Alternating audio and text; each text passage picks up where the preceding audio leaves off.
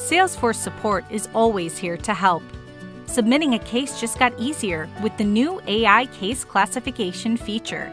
This feature uses artificial intelligence to automatically recommend the most relevant product and topic for your case, which helps to ensure that your case is routed to the right support team for faster resolution.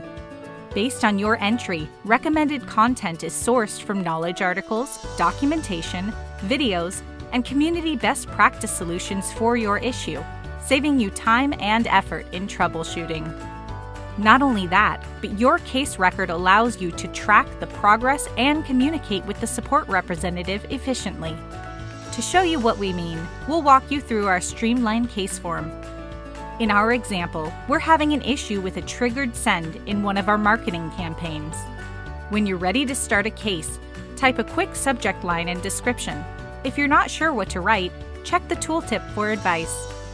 Once you enter the subject and detailed description, built-in artificial intelligence matches products and topics for your issue. Select from the recommended product and topic list.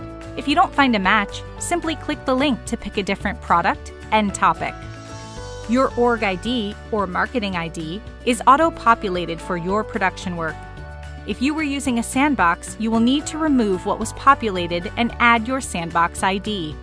Here, in Potential Solutions, you can resolve simple issues immediately with access to knowledge articles and next best action documentation.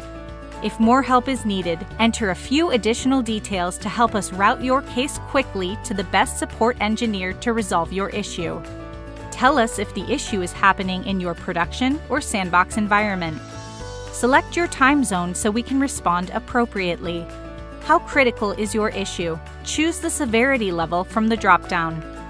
Add the email address of anyone who's working on this with you, such as a coworker or implementation partner. We hope you've been collecting documentation because now is the time to share it.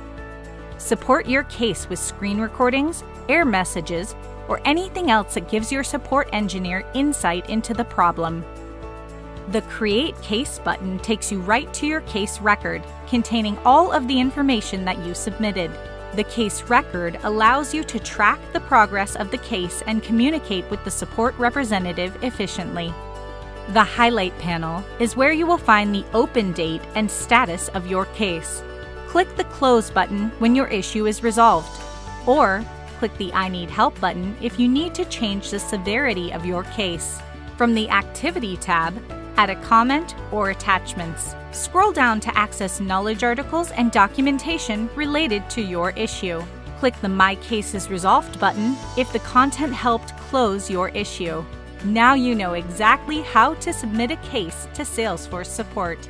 For more information, go to help.salesforce.com or join us on the trail at trailhead.salesforce.com. Thanks for watching.